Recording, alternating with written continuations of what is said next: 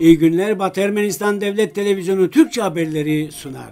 Batı Ermenistan'ın Van ilinde Sibirya soğukları, Ermenistan Cumhuriyeti Dışişleri Bakanlığı, Azerbaycan Artsak'a karşı Ermenilerin etnik temizliği ve tahliye politikasını sürdürüyor. Rus Komersant gazetesi Ermenistan, Rusya ve Azerbaycan üzerinde mutabık kaldığı ulaşım koridorlarının haritasını yayınladı. 13 Ocak 1990 yılında barışçıl yaşam sürdüren Ermeni nüfusunun katliamları Bakü'de başladı. Dink cinayetine bağlı olarak bir jandarma görevlisi tutuklandı. Gesarya Kayseri'de 6000 yıllık tarihi yer altı yerleşim yeri definelerin hedefi oldu. Bugün Hayk Asadıryan'ı anma günü. Batı Ermenistan'ın Van ilinde hava sıcaklığının Çaldıran'da sıfırın altında 15, Muradiye ilçesinde ise sıfırın altında 10 dereceye kadar düşmesiyle baraj ve akarsular buz tuttu. Özellikle Muradiye ilçesindeki baraj gölü ve ilçede geçen akarsular ile Çaldıran ilçesindeki Kaz Gölü etkisini gösteren soğuk hava dolayısıyla buz tutarken ortaya kartpostallık görüntüler çıktı. Batı Ermenistan'ın en soğuk ilçesi Çaldıran. Şu ana kadar en düşük sıcaklığın 9 Ocak 1990 tarihinde sıfırın altında 46.4 derece olarak ölçüldüğü Çaldıran bu yılda çetin soğuklarla mücadele ediyor. İlçede etkili olan soğuk hava dalgası nedeniyle yaşam durma noktasına geldi. Meteoroloji yetkilileri soğuk havanın önümüzdeki günlerde de etkisini sürdüreceğini bildirdi. Ermenistan Cumhuriyeti Dışişleri Bakanlığı Bakü'deki Ermenilere yapılan kırımın 31. yılı vesilesiyle bir açıklama yaptı. Ermenistan Cumhuriyeti Dışişleri Bakanlığı'nın Armen Press tarafından yayınlanan açıklamasını kısmen sunuyoruz. 31 yıl önce uluslararası toplum Azerbaycan'da Ermeni halkına karşı başka bir suça tanık oldu. Azerbaycan'ın başkentinde Ermeni nüfusunun toplu katliamları ve toplu tehcirleri birkaç gün boyunca kendine özel bir vahşetle gerçekleştirildi. Yüzlerce Ermeni öldürüldü, sakat kaldı, kayboldu, on binlerce mülteci yerinden edildi. 1990 yılının Ocak ayında Bakü'deki Ermeni karşıtı katliamlar Ermenilerin Azerbaycan'dan sürgün edilmesiyle sona erdirildi. Azerbaycan makamlarının Ermenilere karşı nefret politikası sadece Bakü'de yüzyıllardır yaşayan Ermeni nüfusunu değil, aynı zamanda şehrin Ermeni tarihi ve kültürel mirasını da hedef aldı. Bugüne kadar kahraman olarak hitap edilen Bakü'deki Ermenilere karşı pogromlar düzenleyenler ve failler adalet önüne çıkmadı. Üstelik Azerbaycan Ermenileri Artsak'tan sınır dışı etme ve etnik temizlik politikasını bugüne kadar sürdürüyor. Bugün Bakü'deki Ermenilere yapılan katliamın masum kurbanlarının anısına saygıda bulunuyoruz. Ermenistan Cumhuriyeti, Arsak Cumhuriyeti ve dünyanın dört bir yanındaki Ermenilerin, Ermeni halkının ana vatanlarında özgürce, güvenli ve haysiyetle yaşama hakkını güvence altına alma konusundaki ortak taahhütlerini yeniden teyit ediyoruz. Tertayem'in verdiği habere göre Rus Komersant gazetesi Ermenistan Cumhuriyeti, Rusya ve Azerbaycan tarafından kabul edilen ulaşım koridorlarının demiryollarıyla ilgili haritasını yayınladı. Medya kuruluşu makalesinde 11 Ocak'ta Moskova'da Rusya, Ermenistan ve Azerbaycan liderleri arasında yapılan üçlü görüşmelerin sonuçları Yerevan'da ve Bakü'de zıt görüşlerle değerlendirildi. Azerbaycan'da toplantı verimli olarak nitelendirildi. Ermenistan Cumhuriyeti'nde ise Ermeni toplumu esirlerin geri dönüşünü bir öncelik olarak görüyor. Komersant'a göre toplantıda üç ülkenin başbakan yardımcılarının başkanlığında bölgedeki tüm ekonomik ve ulaşım bağlantılarının entegrasyonu ile ilgilenecek bir çalışma grubunun kurulması için anlaşmaya varıldı.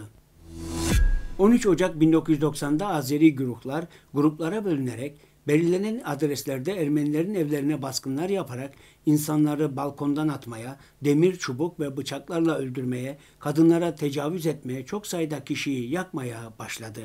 Ermeni nüfusun paralarına, değerli eşyalarına, tasarruf cüzdanlarına ve apartman belgelerine el konuldu. Katliamlar kolluk kuvvetleri, kamu hizmeti ekonomisi departmanları çalışanları ve ambulans doktorları tarafından desteklendi. Katliamlar 6 gün sürdü. 20 Ocak gecesi sonunda şehirde olağanüstü hal ilan edilerek Sovyet tankları Bakü'ye girdi. 13-19 Ocak 1990 katliamlarından sonra Bakü yaklaşık 250 bine varan Ermenilerden boşaltıldı. öldürüldü, binlerce Ermeni kayboldu. 17 Ocak 1990'da Avrupa Parlamentosu Dışişleri Bakanları Konseyi'ni, Avrupa Konseyi'ni Sovyet hükümetinin yasa dışı eylemlerine karşı koymaya ve Ermenistan Cumhuriyeti ile Dağlık Karabağ'a acil yardım talep etmeye çağıran bir kararı kabul etti.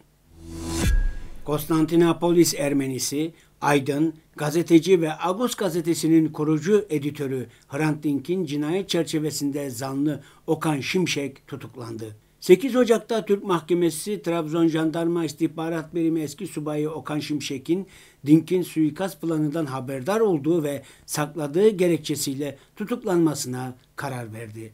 Manisa'da Türk Kolluk Kuvvetleri Şimşek'i tutukladı.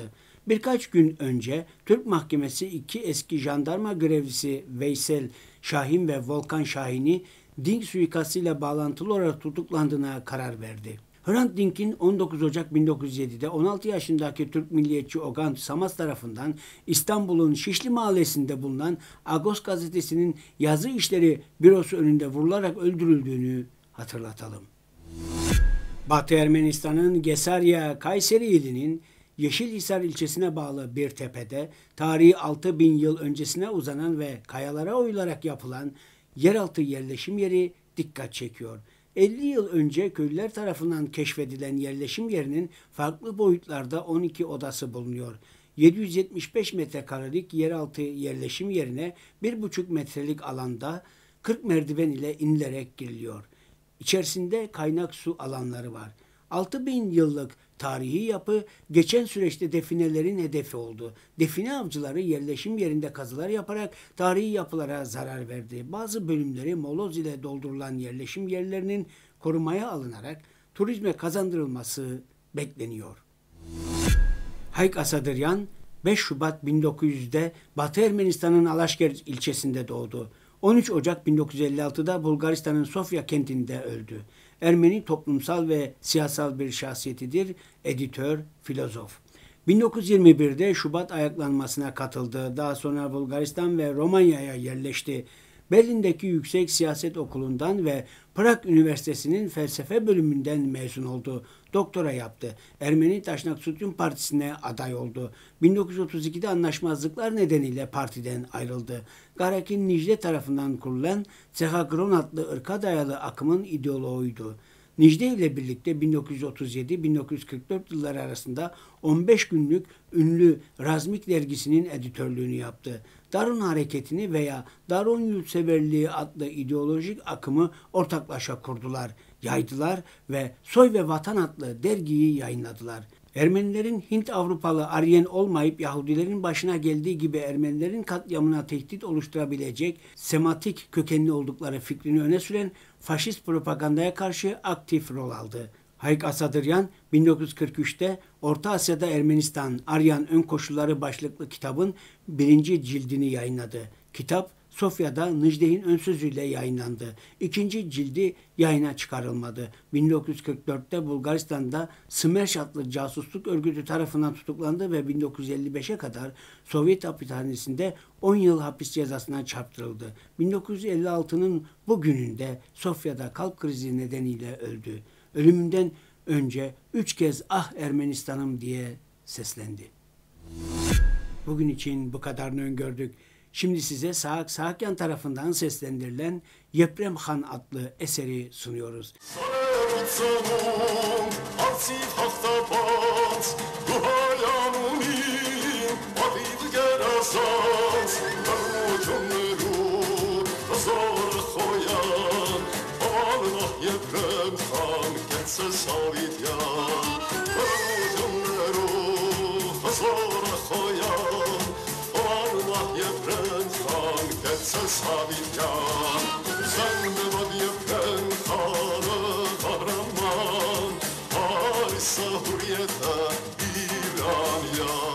Eserin tamamını Batı Ermenistan Devlet Televizyonu'nun resmi sitesinden izleyebilirsiniz.